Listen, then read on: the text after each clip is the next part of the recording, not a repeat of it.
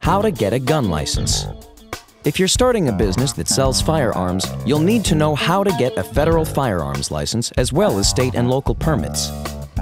You will need an FFL application packet, ATF Form 7, a certificate of compliance, fingerprint ID cards, photos, an interview, a special tax registration and return form, and an ATF field office.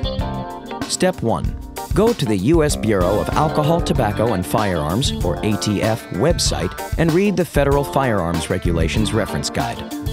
Read the Gun Control Act of 1968.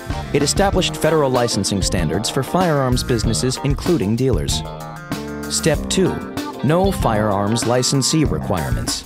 Firearms dealers must be at least 21 years old, have premises for conducting business, and must be compliant with state and local laws where the premises is located. Step 3. Order a Federal Firearms License, or FFL, packet from the ATF's Distribution Center order form page or by calling the Distribution Center. Step 4. Assemble all packet materials ATF Form 7, Certificate of Compliance, two fingerprint ID cards, two photos for each responsible party, and the application fee. Firearms dealer applicants will pay a Class 3 federal license application fee, which is $200 for three years. Step 5. Send the completed application packet to the Federal Firearms Licensing Center. An ATF field officer will then conduct an in-person interview. FFL license approval typically occurs within a 60-day period after the application is received by the licensing center. Step 6.